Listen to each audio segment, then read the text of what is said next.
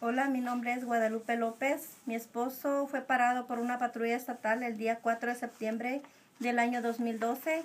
A, él lo arrestaron, lo llevaron con migración. Realmente yo me preocupé lo que estaba pasando. Eh, nunca imaginé que también a mí me iba a pasar esto. Fue algo difícil para mí. Eh, en ese momento a nosotros otro oficial nos tocó la, la ventana y nos dijo, necesito, uh, ¿ustedes hablan inglés o español? Y, y, yo le dije, pues hablamos un poquito. Entonces dijo, ¿ustedes son legalmente aquí en este país o son ilegales? Y nosotros, pues yo me quedé callada. El amigo de nosotros contestó, no, pues somos ilegales realmente en ese momento yo me sentí morir, o sea, era algo difícil para mí porque pues yo pensaba, me van a arrestar también a mí.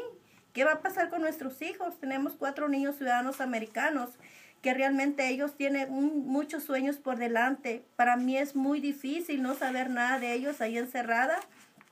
Ahorita en este momento estamos en proceso de deportación es increíble como algo tan chiquito que hubiera sido como un ticket que le hubieran dado a mi esposo, nosotros fuimos a parar migración y tener que pagar cinco mil dólares de fianza cada uno.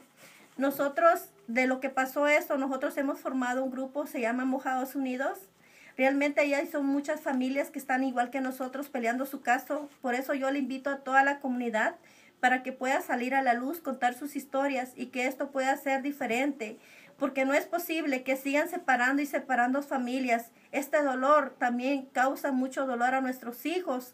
Eh, nuestros hijos realmente se quedan traumados con este tipo de dolor que pasa que sus padres son separados, son deportados. Realmente a mí se me hace muy difícil. Y pues yo le invito a toda la comunidad realmente que siga apoyando, que siga diciendo sus historias, porque esto un día Esperemos que todo esto va a cambiar, las injusticias van a parar y ya no van a haber más familias separadas y destruidas.